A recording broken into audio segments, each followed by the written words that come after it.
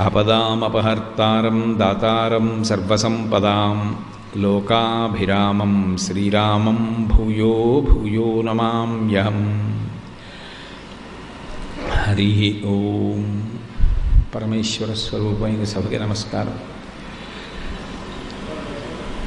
ఇనుగంటి వెంకటరామరాయణన్ దొరగారు ఈరంకి ప్రకాశ్రావు శర్మ గారు కలిసి తమకి స్వప్నంలో వచ్చినటువంటి వృత్తాంతాల్ని ఒకరితో ఒకరు నివేదించుకుని నీరెళ్ళమ్మ తల్లి యొక్క దేవాలయాన్ని ఆధారం చేసుకుని ఇది రత్నగిరి అని నిర్ధారించుకుని ఈ కొండ మీద వెతకగా వెతకగా వెతకగా పరమేశ్వరుడు అనుగ్రహించి శ్రావణ మాసంలో శుక్లపక్షంలో విధియ తిథి నాడు గురువారం రోజున మఖా నక్షత్రంలో వాళ్ళిద్దరికీ దర్శనమిచ్చి తదనంతరము ఈ త్రిపాద్విభూతి మహానారాయణ యంత్రం మీద అధివసించి కొన్ని కోట్ల మంది భక్తుల యొక్క ఆ ఆర్తనాదములను వింటూ వారి యొక్క కష్టములను వింటూ వారి యొక్క ఆపదలను తెలుసుకుంటూ వాళ్ళ ప్రార్థనలు మొరలు ఆలకిస్తూ అందరి యొక్క కోర్కెలను తీర్చేటటువంటి కొంగు బంగారమై ప్రకాశిస్తున్నాడు.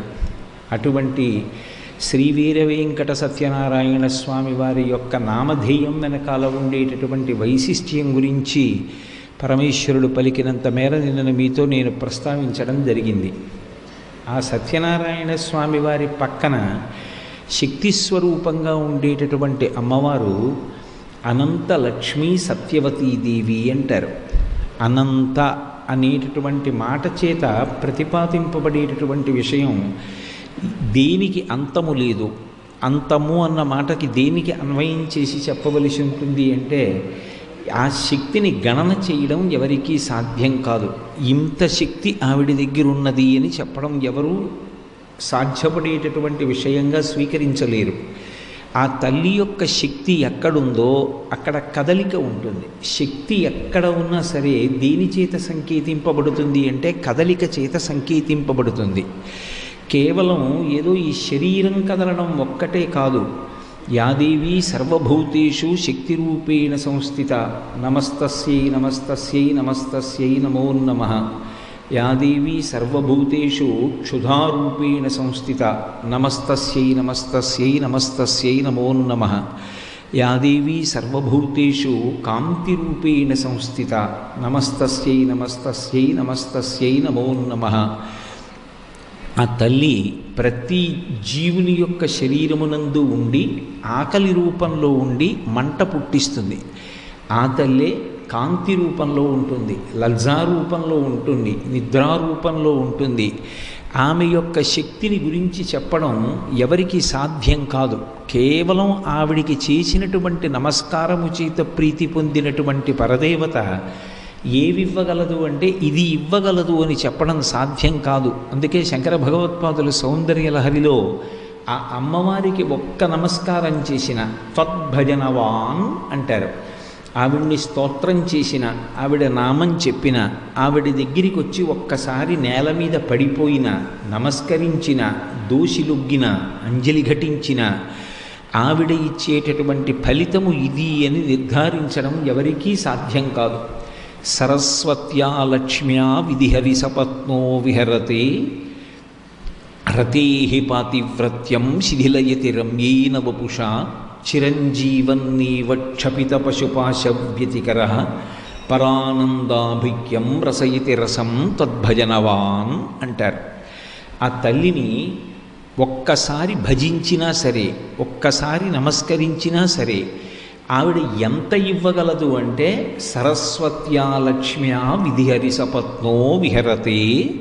ఎంతటి సరస్వతీ కటాక్షాన్ని పొందుతాడంటేట సరస్వతీదేవి భర్త అయినటువంటి చతుర్ముఖ బ్రహ్మగారు అమ్మవారిని ఉపాసన చేసినటువంటి వ్యక్తి పొందినటువంటి సరస్వతీ కటాక్షాన్ని చూసి మనసులో అనుకుంటాట సాక్షాత్తుగా సరస్వతీదేవి యొక్క భర్తనైన నాకు కూడా లేనంత సరస్వతీ విలాసం వీని ఎందుకు ప్రకాశించిందే అని ఆశ్చర్యం పొందుతట అలాగే లక్ష్మీదేవి భర్త అయినటువంటి శ్రీ మహావిష్ణువు కూడా ఇతనికి ఉన్నంత లక్ష్మీ కటాక్షం నాకు కూడా లేదే అని తెల్లబోతట సరస్వత్యా లక్ష్మ్యా విధిహరి సపత్నో విహరతే రతేహి పాతివ్రత్యం శిథిలయతి రమ్యేన వపుష ఎంత సరస్వతీ కటాక్షమున్నా ఎంత లక్ష్మీ కటాక్షమున్నా చూసేటప్పటికి శరీరం బహుభయంకరంగా ఉందనుకోండి.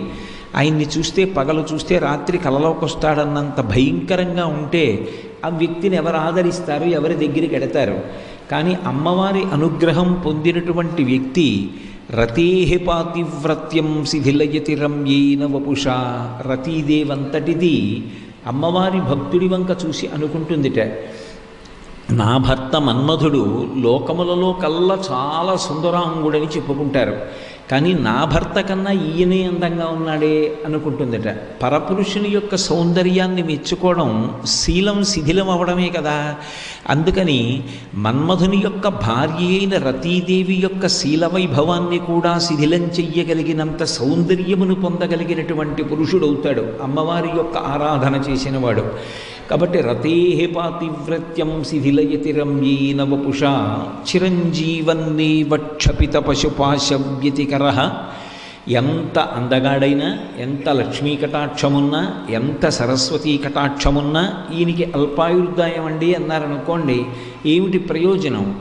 కాదు ఎవరు అమ్మవారికి నమస్కారం చేస్తాడో ఆవిడ ఎంత అనుగ్రహాన్ని ఇవ్వగలదు అంటే అతను చిరంజీవిత్వాన్ని పొందుతాడు. అంటే ఈ యుగంలో ఎంత ఆయుర్దాయాన్ని పొందాలని భగవంతుడు శాసనం చేశాడో అంతటి దీర్ఘాయుర్దాయాన్ని పొందుతాడు. అది కూడా ఏదో మంచాన పడి ఉండి బ్రతకడం కాదు. ఆరోగ్యవంతంగా పది మందికి ఉపకారం చేస్తూ పది మంది చేత అభినందింపబడినటువంటి జీవితాన్ని పొందినవాడై అలా భోగాలు అనుభవించి అనుభవించి చిరంజీవిత్వాన్ని పొంది దీర్ఘాయుర్దాయాన్ని పొంది శరీరం విడిచిపెట్టినంత మాత్రం చేత జీవుడు పొందగలిగినటువంటి ప్రయోజనం ఏముంటుంది? అంటే కేవలం దీర్ఘాయుర్దాయం పొంది శరీరం విడిచిపెట్టడం కాదుట.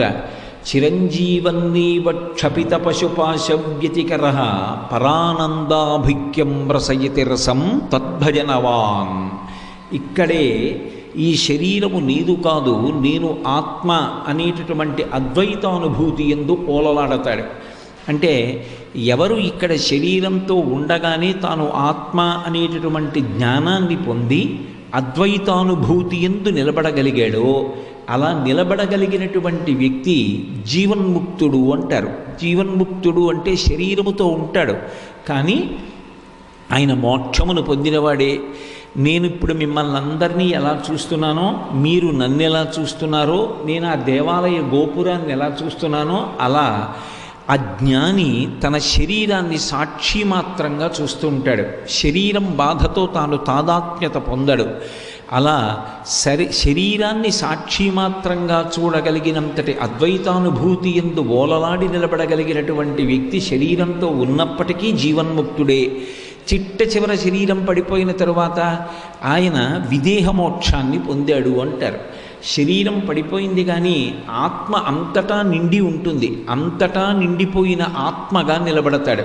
అందుకే భగవాన్ రమణులు సర్కోమా వ్యాధితో బాధపడుతుండగా కొంతమంది అంతేవాసులైన దగ్గరికి వెళ్ళి హే భగవన్ మీ శరీరం పడిపోతుందేమో ఇంత అనారోగ్యం వచ్చిందని మేము బాధపడుతున్నాం అంటుంటే ఆయన ఒక మాట అంటుండేవారు. నేను వెళ్ళడానికి చోటే ఉంది నేను ఎప్పుడూ అంతటా నిండి నిబడీకృతమైన వాడవే అనేవారు. ఆత్మగా నిలబడి అద్వైతానుభూతి ఎందు ఓలలాడగలిగినటువంటి వ్యక్తి తాను కేవలము పరిచ్ఛిన్నమైనటువంటి శరీరమునకు మాత్రమే పరిమితమైన వాడదన్న భావనతో ఉండడు. అంతటా నిండిపోయినటువంటి ఆత్మగా నిలబడగలడు. శరీరం పడిపోయిన తరువాత అంతటా పరివ్యాప్తమైనటువంటి ఆత్మ అవుతాడు. అందుకని అప్పుడు విదేహముక్తి అంటారు. కాబట్టి ఆ తల్లి యొక్క అనుగ్రహం పొందినవాడు ఎవరుంటాడో అటువంటి వాడు ఇంతటి శక్తిని పొందుతాడు. కాబట్టి ఆవిడ ఇంతే ఇవ్వగలదు అని చెప్పడం ఎలా సాధ్యం? అందుకే ఆవిడకి కామకోటి అని ఒక పేరు. కామకోటి అంటే ఏ కామం చెప్పు. కామం అంటే కోరిక. నాకు వివాహం కాలేదంటావా? ఆవిడ చెయ్యగలదు. బిడ్డలు లేరా? ఆవిడ ఇవ్వగలదు ఐశ్వర్యం కావాలా? ఆవిడ ఇవ్వగలదు సుఖశాంతులు కావాలా? ఆవిడ ఇవ్వగలదు నిన్ను విద్వాంసుణ్ణి చెయ్యాలా? ఆవిడ చెయ్యగలదు. నీకు మోక్షం కావాలా? ఆవిడ ఇవ్వగలదు కోటి అంటే హద్దు. ఏ కోరిక చెప్పు దానికి హద్దు ఆవిడే. కాబట్టి ఆవిడికి కామకోటి అని ఒక పేరు. అటువంటి తల్లి అనంత శబ్దము చేత ప్రతిపాదింపబడుతుంది. ఆవిడ యొక్క శక్తికి అంతము లేదు. ఇక్కడితోటే ఈవిడ శక్తి అంతము. ఇంతకు మించి ఆవిడ శక్తి పని చెయ్యదు అనడానికి మనం ఎవ్వరం కూడా చెప్పలేం. ఎవరి ఎందు ఏ కదలిక కలిగినా కూడా అది కేవలము ఆ తల్లి అనుగ్రహం చేత. నేను ఒక ప్రవచనం చేశానేటటువంటి కీర్తి పొందాలన్నా తృప్తి పొందాలన్నా లోపల ఆ తల్లి కదలికల మీద ఆధారపడుతుంది. ఆవిడ అనుగ్రహం లేకుండా ఎవరూ ఏదీ సాధించేది ఉండదు. కెనోపనిషత్తులో ఒక విశేషాన్ని చెప్తారు. జ్ఞానప్రసూనాంబ అని మనం శ్రీకాళహస్తిలో పిలుస్తామే. ఆ తల్లి ఒకప్పుడు ఒక అరణ్యంలో విరాజమానురాలై నిలబడి ఉంది. దేవ దేవతలందరూ కూడా బయలుదేరి రాక్షసుల్ని గెలిచి వెళ్ళిపోతున్నారు. వాళ్ళందరూ ఒక చోట కూర్చుని నేను ఆ రాక్షసుణ్ణి చంపానంటే నేను ఈ రాక్షసుణ్ణి చెప్పానని చెప్పి మాట్లాడుకుంటున్నారు. దూరంగా ఎవరో ఒక స్త్రీ కనపడినట్లు అనిపించింది. దేవేంద్రుడు అన్నాడు ఎవరో ఒక స్త్రీ నిలబడింది. ఏ ఎవరో వెళ్ళి కనుక్కురా అని అగ్నిదేవుణ్ణి పంపించాడు. అగ్ని వెళ్ళి అడిగాడు కస్త్వం ఎవరు నువ్వు? అని అడిగాడు. ఆవిడంది నేనెవరో తర్వాత చెప్తాను నువ్వెవరంది? నేను అగ్నిహోత్రుణ్ణి అన్నాడు. ఏం చేస్తావంది? దేన్నైనా కాల్చేస్తానన్నాడు ఆవిడ ఒక గడ్డి పరకని కాలి వేలుతో ఇలా తోసి కాల్చంది. ఆయన కాల్చలేకపోయాడు. సిగ్గుపడి వెనక్కి వెళ్ళి ఇంద్రుడికి చెప్పాడు ఆమె ఎవరో ఒక స్త్రీ యక్షిణిలా ఉంది చూడ్డానికి. కాలితో గడ్డి పరక తోసింది. నేను కాల్చలేకపోయానన్నాడు. ఓ అలాగా. వాయువుని పంపిస్తాను. ఆయన ప్రభంజనుడు. ఆయన తలుచుకుంటే వేగంగా ఆయన కానీ కదిలి వీచాడా? పెద్ద పెద్ద మహావృక్షములు కూడా నేల మీద పడిపోతాయి. కాబట్టి ఇప్పుడు వాయుదేవుణ్ణి పంపిస్తానని వాయువుని పంపాడు. ఆ తల్లి ఎవరు నువ్వంది నేను వాయుదేవుణ్ణి అన్నాడు ఏం చేస్తావంది నేను ప్రాణులందరికీ కూడా ఊపిరినిస్తాను అశరీర శరీరేషు వాయుచ్చరతి పాలయన్ అందరికీ శరీరాలు ఉంటాయి నాకు శరీరం ఉండదు అన్ని శరీరములలోకి వెడతాను. బయటికి వస్తాను నేను వెళ్ళి వచ్చిన కారణం చేత శరీరములు నిలబడతాయి. అంత గొప్పవాణ్ణి అన్నాడు ఓహో అంత గొప్పవాడివే. ఆ గడ్డి పరకని కొంచెం దూరం కదుపంది ఆవిడ కానీ ఆయన తన శక్తినంతటినీ ప్రయోగించినప్పటికీ కూడా ఒక గడ్డి పరకని కదపలేక సిగ్గుపడి విడిపోయాడు. ఇంద్రుడు వచ్చాడు. ఆవిడ వంక చూడగానే ఆయనకు అనుమానం వచ్చింది. ఈమె ఆదిశక్తి. ఈ శక్తి యొక్క అనుగ్రహం చేతనే మనలో కదలికలు వచ్చి మనందరం రాక్షసుల్ని గెలిచాం. మనంతటి వారం మనం అంటున్నాం కాదు ఈ తల్లి అనుగ్రహం చేత మనం గెలిచాం అని ఆ తల్లికి సాష్టాంగపడి నమస్కరించాడు. అప్పుడు జ్ఞానప్రసూనాంబా స్వరూపంతో నిలబడి ఇంద్రుడికి కేనోపనిషత్తుని బోధించింది ఆవిడ. అది జరిగింది శ్రీకాళహస్తి ప్రాంతంలో జరిగింది. ఎక్కడ ఎవరిలో ఏ కదలిక ఉన్నా ఏ విషయాన్ని సాధించగలిగాడు అన్నా అది ఆమె యొక్క అనుగ్రహ విశేషం చేత జరుగుతుంది తప్ప ఆవిడ అనుగ్రహం లేకుండా జరగదు. అందుకే పార్వతీదేవి యొక్క అంశని అనంత అనబడేటటువంటి పేరు చేత ప్రతిపాదన చేస్తారు. కాబట్టి ఆ తల్లి అనంత అంటే శివశక్తిగా ఉంటుంది. అదే తల్లి లక్ష్మీ. లక్ష్మీ అనేటటువంటి పేరుకు అర్థం ఏమిటంటే అంతటా చూచున్నది అందరి చేత చూడబడునది. వృద్ధికి కారణమైనది అని మూడు అర్థాలు లక్ష్మీదేవి చూడకపోతే కాంతి ఉండదు. లక్ష్మీదేవి చూడకపోతే ఉత్సాహం ఉండదు. లక్ష్మీదేవి చూడకపోతే అసలు ఆ మనిషి ఎందు ప్రకాశం ఉండదు. అందరూ ఎవరి వంక చూస్తారంటే లక్ష్మీదేవి వంక చూస్తారు. ఆ తల్లి అనుగ్రహం మాకు కలిగితే చాలు అనుకుంటారు. ఆ తల్లి ఇలా చూడక్కర్లేదుట. ఇలా ఒక్కసారి చూసిందనుకోండి ఆవిడ యొక్క అనుగ్రహం రెండు రకాలుగా పనిచేస్తుంది. లక్ష్మీదేవి యొక్క కటాక్షము ఎవరి మీద పడిందో వారి నుండి అలక్ష్మి తొలగిపోతుంది. లక్ష్మీదేవికి అక్కగారు జ్యేష్ఠాదేవి ఆవిడ అలక్ష్మి. మనం శ్రీ సూక్తం చదివినప్పుడు ఒక మాట చెప్తాం. క్షుత్పిపాసామలాం జ్యేష్ఠామలక్ష్మీం నాశయాం యహం అంటాం. క్షుత్ అంటే ఆకలి పిపాస అంటే దాహం. విశేషమైనటువంటి ఆకలి వేసి తినడానికి లేదు దరిద్రుడు.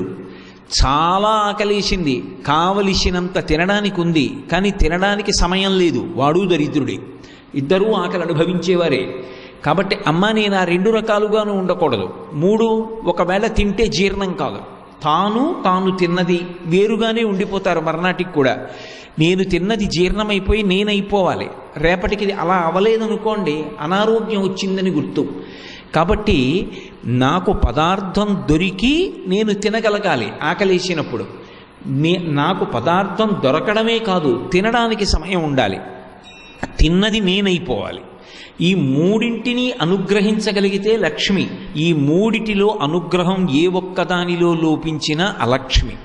లక్ష్మీదేవి కటాక్షం కలిగితే అలక్ష్మి తొలగిపోతుంది. సూర్యుడు వస్తే చీకటి ఉండదు. అలా లక్ష్మీ కటాక్షం కలిగితే అలక్ష్మి తొలగిపోతుంది. కాబట్టి క్షుత్పిపాసామలాం జ్యేష్ఠామలక్ష్మీర్నాశయామ్యహం అమ్మ మా నుండి ఆకలి దప్పిక బాధ ఇటువంటి వారిని దూరం చేయి. అవన్నీ కూడా జ్యేష్ఠాదేవి యొక్క లక్షణాలు. మా నుండి అలక్ష్మి తొలగిపోవాలి. నువ్వు మమ్మల్ని అనుగ్రహించాలి. నువ్వు మమ్మల్ని అనుగ్రహిస్తే ఏమవుతుంది? అశ్వదాయి చగోదాయి ధనధాయి మహాధనే ధనం మే జుషతాం దేవి సర్వకామార్ధసిద్ధయే. పుత్రపౌత్రధనం ధాన్యం హస్తశ్వాజా విగోరథం ప్రజానాం భవసి మాత ఆయుష్మంతం కరోతు మాం అంటాం. అంటే అమ్మ కేవలం ఏదో నేను ఆకలి వేసి తినడం ఒక్కటే కాదు. అశ్వదాయి చగోదాయి ధనధాయి మహాధనే. నాకు గుర్రాలు కావాలి నాకు ఏనుగులు కావాలి నాకు మేకలు కావాలి నాకు గొర్రెలు కావాలి. నేను ఒక్కడినే ఇవన్నీ పొంది ఉండడం కాదు. పుత్ర పౌత్ర ధనం ధాన్యం హస్తశ్వాజ విగోరథం. ఆవులు కావాలి. నేను ఆ ఆవుల్ని సేవించాలి. గోవుకి ప్రదక్షిణం చెయ్యాలి. గోవుకి గ్రాసం పెట్టాలి. ఆ ఆవు పాలు పితికి అభిషేకం చేసుకోవాలి. నేను కొడుకుల్ని చూడాలి మనవల్ని చూడాలి. నేను బయటికి వస్తే అమ్మో ఆయన వస్తున్నారు ఎక్కడికెడతారో అని నాకు వాహనం సిద్ధంగా ఉండాలి. ఆ వాహనాన్ని నడిపేవాడు సిద్ధంగా ఉండాలి. నా పని చెయ్యడం కోసం నాకు అనేక మంది సేవకులు ఎప్పుడు నిరంతరం నా పని కోసం వేచి చూడాలి. నాకు అపారమైనటువంటి కీర్తి ఉండాలి. ఆయన అని నేను వెడుతుంటే ఎందరో లేచి నిలబడాలి. ఇవన్నీ ఉన్నా నేను మాత్రం అశ్వపూర్వాం రథమధ్యాం హస్తినాద ప్రబోధినీం. ఆవిడొస్తోందని గుర్తేమిటంటే ముందు గుర్రాలు ఎడతాయి. మధ్యలో రథంలో లక్ష్మీదేవి ఎడుతుంది. వెనక ఏనుగు వస్తుంది. ఆవిడ వెళ్ళేటటువంటి మార్గం అలా ఉంటుంది. పద్ధతి అలా ఉంటుంది. అది కాదు దాని రహస్యార్థం వేరు. ముందు అశ్వములు వెడుతున్నాయంటే ఇంద్రియములను గుర్రములతో పోలుస్తారు. ఇంద్రియములు గుర్రాల్లా విచ్చలవిడిగా తిరగకుండా ఇన్ని భోగభాగ్యాలను నువ్వు నాకు ఇచ్చినప్పటికీ నా ఇంద్రియములు మాత్రం ఎప్పుడూ నిన్ను సేవిస్తూ ఉండాలి. నా కన్నులు నిన్ను చూడాలని కోరుకోవాలి. నా చెవులు నీ యొక్క కథలను వినాలని కోరుకోవాలి. నా యొక్క నాలుక ఎప్పుడూ నీ ప్రసాదం తినాలని కోరుకోవాలి. నా ముక్కు నీ పాదముల మీద ఉన్న నిర్మాల్యాన్ని వాసన చూడాలని కోరుకోవాలి. తప్ప నా ఇంద్రియములు కేవలము ధర్మమును విడిచిపెట్టినటువంటి భోగములు కోరకూడదు. ఇంద్రియములు రథం అంటే ఈ శరీరము. ఈ శరీరం వెనక ఒక పెద్ద ఏనుగు ఒకటి ఉంది. ఏమిటా ఏనుగు? అంటే ప్రాణులన్నిటిలోకి పెద్దది ఏనుగు. ఏదైనా చాలా పెద్దదని చెప్పవలసి వచ్చింది అనుకోండి ఏనుగంత అంటాడు. ఏనుగంతటిది ఏదంటే అహంకారం. అంత అహంకారం ఇక్కడే ఉంటుంది. అవకాశం చూసుకుని పైకి వస్తుంది అమ్మ ఈ గుర్రాల్లాంటి ఇంద్రియాలు అహంకారం లాంటి ఏనుగు మధ్యలోనున్న నా శరీరం అనే రథాన్ని నొక్కేయకుండా ఇవి భక్తి ప్రపత్తులతో ఉండాలి. దానివల్ల నేను ఉత్తమ గతులు పొందాలి. న క్రోధో నచ మాత్సర్యం న లోభో నా శుభామతి భవంతి కృత పుణ్యానాం భక్తానాం శ్రీసూక్తం జపేత్ సదా. నాకు క్రోధము మాత్సర్యము ఇటువంటి హేయమైనటువంటి గుణములు అబ్బకూడదు. అంటే బాహ్యమునందు కలగవలసినటువంటి ఐశ్వర్యము దగ్గర నుండి ఆంతరమైనటువంటి ఐశ్వర్యము వరకు తన క్రీగంటి చూపు చేత ఇవ్వగలిగిన తల్లి ఎవరు అంటే లక్ష్మీదేవి. అటువంటి ఓ లక్ష్మి నువ్వు నా పట్ల ప్రసన్నురాలవగుదువుగాక.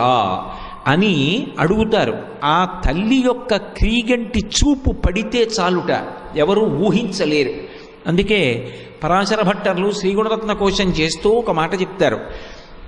యద్భ్రూభంగా ప్రమాణం స్థిరచరరచనాతారతం ఏ మురారే వేదాంతా తత్వచింతాం మురభిదురసి యత్పాదచిహ్నైత్తరంతి భోగోపోద్ఘాతకేళీచులికిత భగవత్వైశ్వరూప్యానుభావా సనశ్రీ అస్పృణీతాం అమృతలహరిధీలంఘనీయై అపాంగై అంటారు.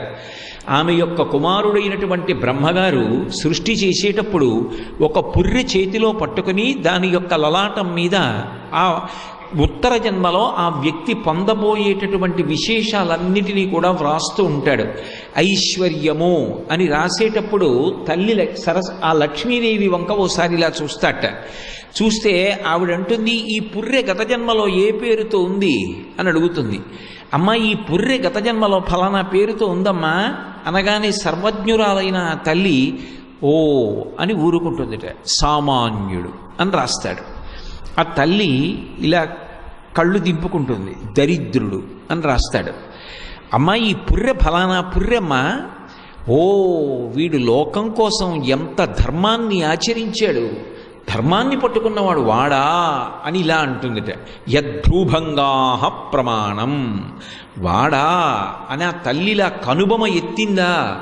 వాడి ఇంటి ముందు ఏనుగులు నిలబడి తొండములను పైకెత్తి ఘీంకరించగలిగినటువంటి మహదైశ్వర్యవంతుడవుతాడు.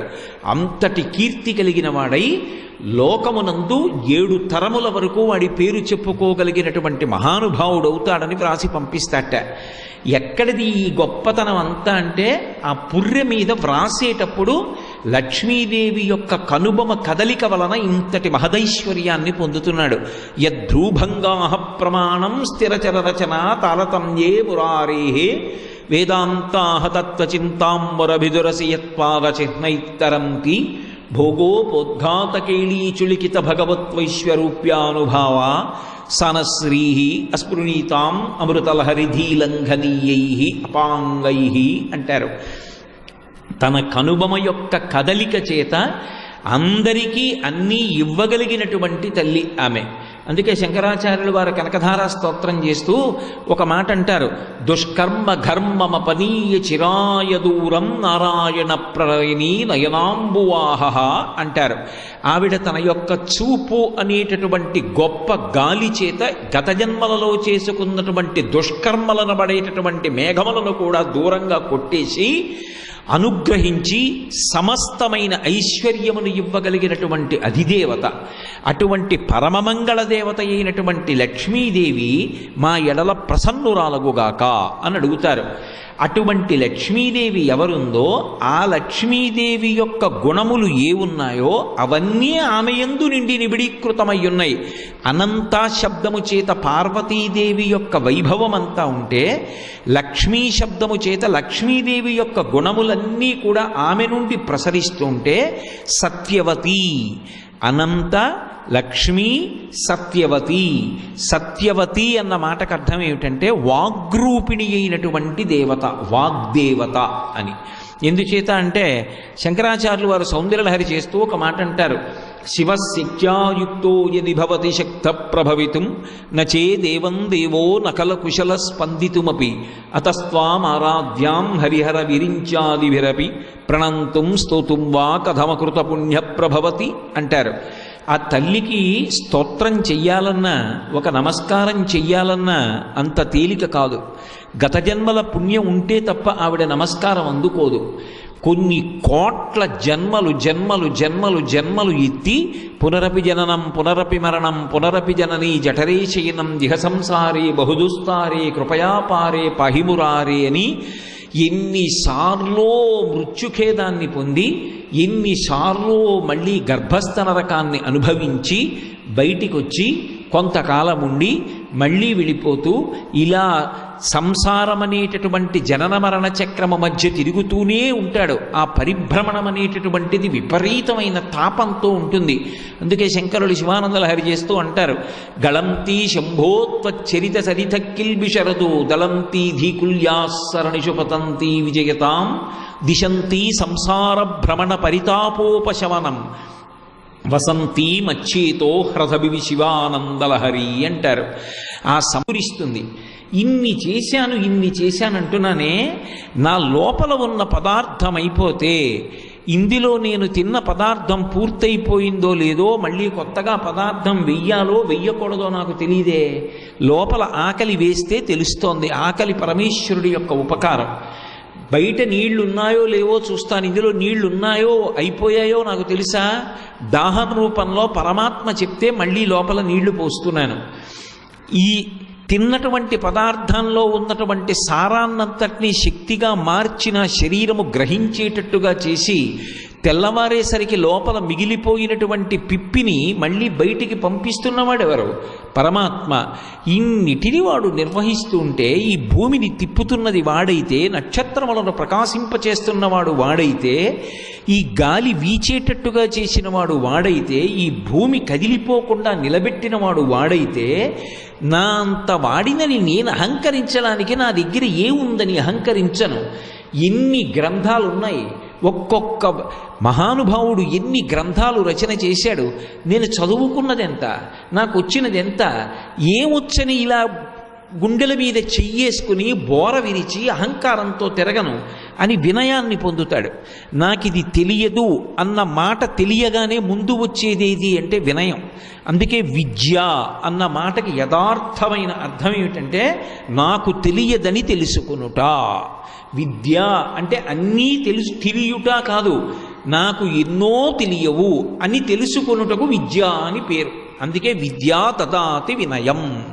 విద్య ఏమిస్తుందంటే వినయాన్ని ఇస్తుంది నాకు ఎన్నో తెలుసు. అన్నాడు అనుకోండి అహంకారంతో తిరుగుతాడు. నాకేం తెలుసు? అన్నాడు అనుకోండి పరమ వినయంతో బ్రతుకుతాడు. నాకేం తెలుసు? అనాలంటే పరమేశ్వరుడి యొక్క అనుగ్రహం చేత నాకు ఈపాటి విభూతి ఉన్నది తప్ప ఆయన అనుగ్రహం లేకపోతే నాకేముంది విభూతి? అని అనగలిగిన వాడెవరుంటాడో వాడు ఎప్పుడూ పరమ వినయంతో ఉంటాడు. మీరు స్వామి హనుమని చూడండి ఆయన జీవితం ఒక గొప్ప ఉదాహరణ. అంతటి సర్వశక్తిమంతుడై కూడా నేను చేస్తున్నానని ఆయన ఎప్పుడూ అనరు. ఆఖరికి నూరు యోజనముల సముద్రాన్ని దాటి వెళ్ళవలసినటువంటి సందర్భంలో కూడా యథారాఘవ నిర్ముక్త శరశ్వసన విక్రమ గచ్చేతత్వద్గమిష్యామి లంకాం రమణపాలితాం అంటారు.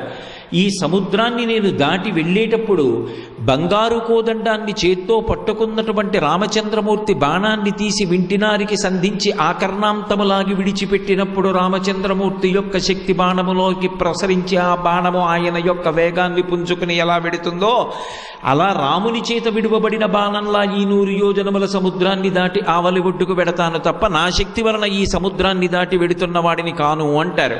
ఎంతటి వినయ సంపన్నత కలిగిన మహానుభావుడు ఏదో దాటకముంది ఈ మాట అండం కాదు. దాటి ఆవలి ఒడ్డుకు వెళ్ళిన తరువాత సీతమ్మ అడిగింది ఇన్ని లక్షల మంది వానరులు సముద్రాన్ని దాటి రాలేక ఆవలి ఒడ్డు నుండిపోయారు నువ్వు ఒక్కడి వచ్చావు. రేపు నిజంగా రామరావణ యుద్ధం జరిగితే హనుమ ఎంతమంది సముద్రాన్ని దాటి లంకాపట్టణ ప్రవేశం చేసి రామరావణ యుద్ధంలో పాల్గొనగలుగుతారు చెప్పండి ఆయన అన్నారు అమ్మా మద్విశిష్టాశ్చ తుల్యాశ్చ సంతి తత్ర వనౌక సహా మద్ద ప్రత్యవర కశ్చిన్నాస్తి సుగ్రీవ సన్నిధౌ అన్నారు. అమ్మ నీకు తెలుసు కదా లోకంలో ఒక ఆచారం ఉంది. ఎప్పుడైనా మహారాజులు తన భార్య దగ్గరికి దూతని పంపవలసి వస్తే తన దగ్గర ఉన్నటువంటి సేవకుల్లో అందరికన్నా తక్కువ శక్తి కలిగినటువంటి వాణ్ణి మాత్రమే పంపుతారు. అది ఆచారం. అమ్మా రామచంద్రమూర్తి ఆయన భార్య అయినటువంటి నీ వద్దకు నన్ను పంపించాడంటే సుగ్రీవుడి దగ్గర ఉన్నటువంటి వానరులందరిలోకి నేనే తక్కువ అన్నమ్మా నాతో సమానులు ఉన్నారు నాకన్నా అధికులు ఉన్నారు నాకన్నా తక్కువ వాడు ఇక లేడమ్మా వానరుల్లో అన్నారు. మద్విశిష్టాశ్చ తుల్యాశ్చ సంతి తత్ర వనౌకస సహా మత్త ప్రత్యవర కశ్చిన్నాస్తి సుగ్రీవ సన్నిధౌ. ఆ జాతికి వారసులం మనం. అంతటి వినయ సంపన్నత కలిగినటువంటి వారు. అందున దైవము గురువు ఈ రెండు పేర్లు వినపడేటప్పటికీ ఎంతటి వారైనా సరే తల వంచేసి నమస్కరించి నిలబడినటువంటి జాతి.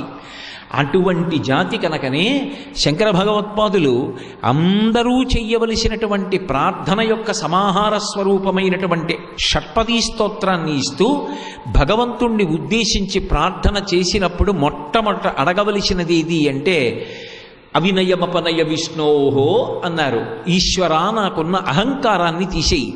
అహంకారం తీసేస్తే ఏమొస్తుంది? వినయం వస్తుంది.